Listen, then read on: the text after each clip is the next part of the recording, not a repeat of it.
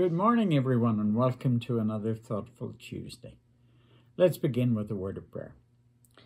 Gracious God and Father, we turn aside in these moments from everyday things to focus on you, to listen for your voice, to read your word, and to feel you in our presence and you with us.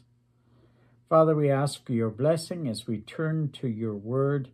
We pray that you will speak through my lips, that you will Fill our hearts with your fullness and remind us of your power, your greatness, your love, and your mercy. For we ask it all in Jesus' name. Amen.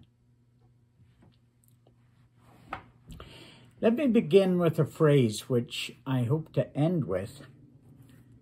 There is no sell by date on personal faith or commitment to God. There's no sell by date on personal faith or commitment to God. Everything you buy nowadays has a sell by date, best before. We look for it on products to make sure what we're buying is fresh. But there's no sell by date on personal commitment or faith in the God that we worship.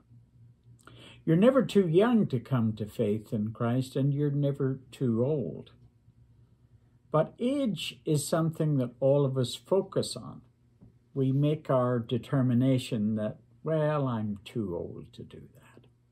Or I think at my age, I don't think so. I always remember President George Herbert Walker Bush and how he, for the first time, went skydiving on his 75th birthday. I laugh when I think about what his wife Barbara said on that occasion. She said, George, whatever way this goes, this is going to be your last time skydiving. Actually, she was wrong because he celebrated his 75th birthday by doing this, then his 80th, his 85th, and he skydived for the last time when he was 90. He clearly felt that he was not too old to do this. Now, the Bible is filled with its seniors who inspire us, encourage us, at least they ought to. Think of Moses. It says of Moses that his eye was not dimmed, nor his natural strength abated when he was an old man. Most of us wish we could say that. But I want to draw your attention to Caleb this morning we first meet Caleb in the book of Numbers, the Old Testament book of Numbers, in chapter 13.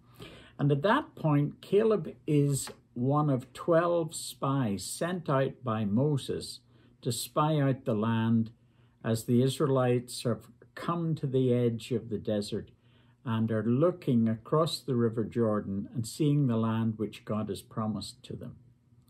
And so they reconnoiter the land, they look at their enemy, they consider the strength of the opposing armies, the size of the cities, everything.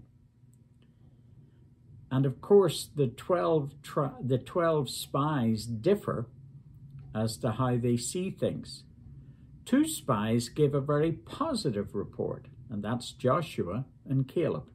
Ten spies give a very negative report and say, look, the people are too many, their armies are too large and well equipped. Their cities are too uh, protected and, and walled and so on. We'd never be able to take those people.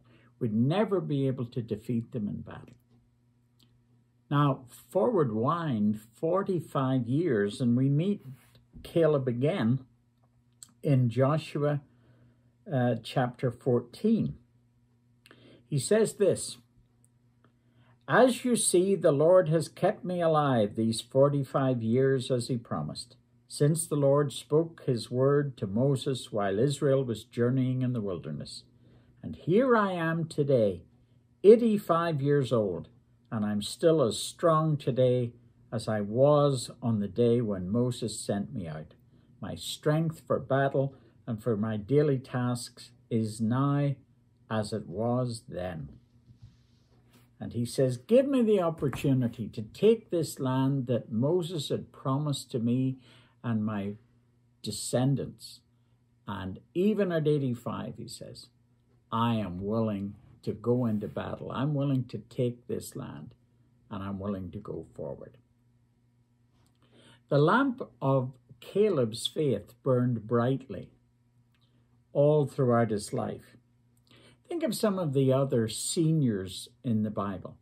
When we read the nativity stories of Jesus, we find two seniors waiting for Mary and Joseph and the baby Jesus at the temple. We read of Simeon and Anna the prophet. They were both well up in years, and they were promised by God that they would see the Messiah before they died. And they waited expectantly, eagerly, enthusiastically, and that promise was fulfilled, even though they were old. Think, for instance, of Paul. Paul describes himself at one point in some of his letters as Paul the aged, Paul the old man. Now, he wasn't old by our standards. In fact, probably at that stage of his life, Paul wouldn't have been old enough to live in Sun City. But he thought of himself as old, and by the standards of his own day, he was old, when a man was considered burnt out and near the end at 50 or 55. Peter was white haired in the service of Jesus Christ. You know, there's a tremendous difference between the epistles of Peter and the Peter you meet in the Gospels. Why? Because he matured, he developed, he became a much more compassionate and caring individual. Peter lost a lot of the brashness that we see in him, the self confidence, the arrogance, even, that we see with him in the Gospels. And then we think of John. John, we traditionally believe was the oldest of the apostles when he died. That he lived to be a very old man. He began following Jesus as a very young man. And he'd spent his whole life serving Jesus Christ, preaching and teaching the gospel across the cities and the churches of the Roman Empire. But he lived to be an old man and never regretted that he had learned to follow and to have faith in Jesus Christ. Sometimes ministers will say that they have people in their church who have grown old, but have not grown up.